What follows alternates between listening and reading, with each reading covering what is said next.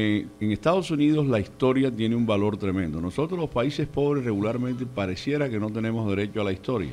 Tú montas aquí una, una estatua y la, pintan y la tiran piedra y la levantan a patadas y en fin. Eh, eh, a veces el presta, más o menos, ellos tienen algo que hay una fecha que todos los equipos de la eh, la fecha se pone en el 42, que es el primer negro que jugó en Grandes Jackie Robinson.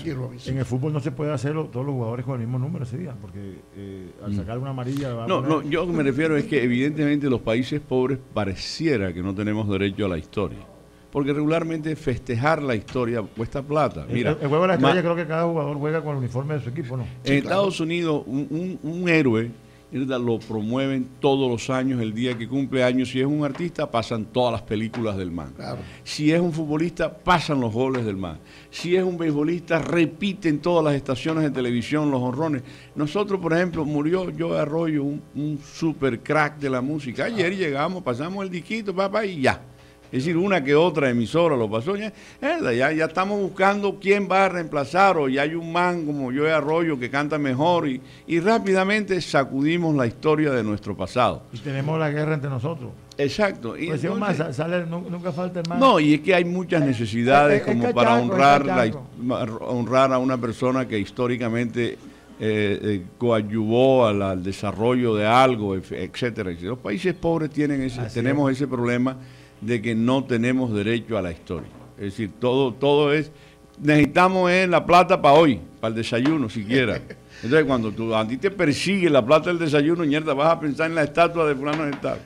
O que le vas a llevar las flores. Están pensando cómo comen. El que logre... Ese es el problema de nosotros los pobres. ¿ah? El que logre una camiseta de, con el 45 de Pedro Martínez de Boston y que Pedro se la firme. Dentro de 3, 4, 5 años, 10 años, eso vale. Mire, eso vale el billete que no, y si se muere Pedro Martínez más. No, y si no se muere también. Si se muere más. Es decir, después, claro, parece mentira, es una parada. Si se muere, bueno, entonces ya viene el fenómeno de la inmortalidad, entre comillas, no hay inmortalidad.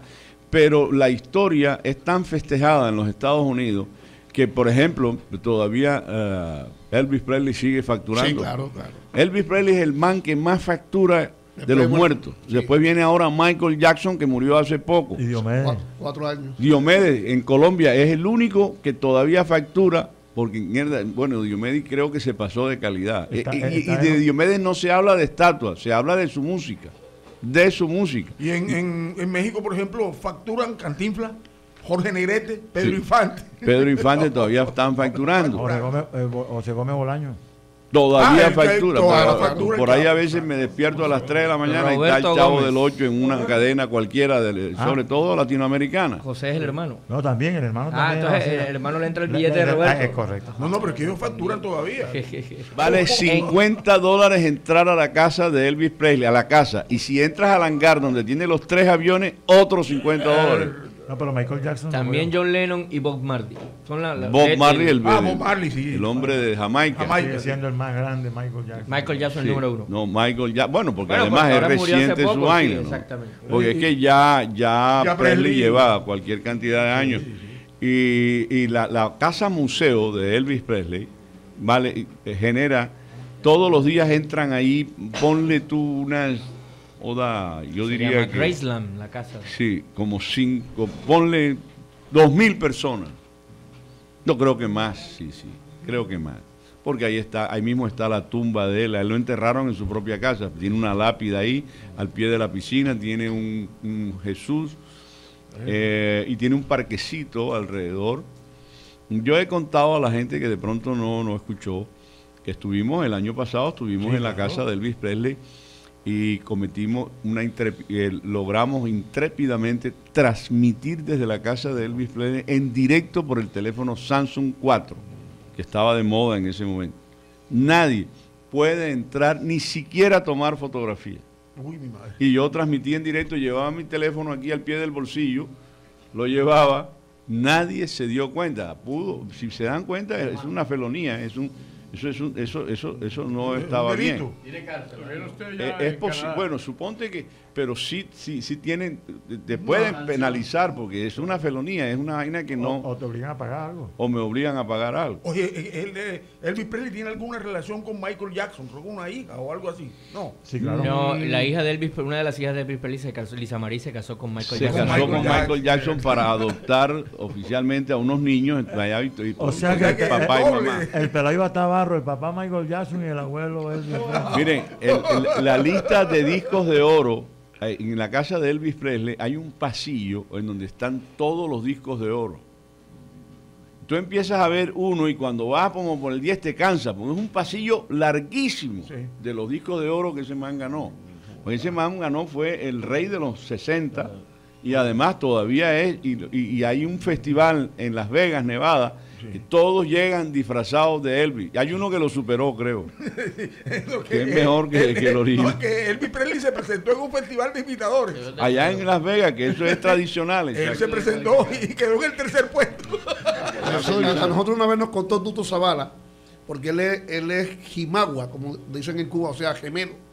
Y el, gemelo de él se quedó en Cuba. ¿Te acuerdas que vino con la selección de Cuba aquí una vez? Mm. Domingo Zavala. Domingo Zavala. Y una vez que Tuto fue de visita a Cuba, a visitar a su familia, Domingo sacó un baúl viejo que tenía y le dijo, Tuto, yo no, yo no hago nada con esto aquí, llévatelo para allá. Era un álbum de barajitas de grandes ligas que en Cuba, un, deporte tan popular como el béisbol, coleccionaban esas barajitas antes de la revolución. Y eso tipo caramelos hinchas acá. Y eso se había quedado ahí. Y entonces ahí tenía barajitas de Ted Williams, de Jody Maggio, de todas las estrellas de la época. Cuando Tuto Zavala llegó a Miami con eso, se ganó un billetón porque cada barajita de eso valía 5 eh, mil, 10 mil y dijo que vendió una, no recuerdo de quién, por 30 mil dólares. Bueno, entonces la, barajita de esa. La bola aquella que tenemos, a ver, con dos holes de afama. No, que tengo yo. que dejate de meterte en el. es yo el que la tiene, ¿verdad? Oye, Pepe, y que la bola que tenemos. la que velocidad. Jim Rice. Una pregunta. ¿no? Claro, Roger Clemens y Jim Rice. Y White Box. que era la tercera base de la época. Jackie Gutiérrez. Una pregunta, señora Bel. Yo sé, ya está claro que la bola es suya. ¿En cuánto vendería usted su bola?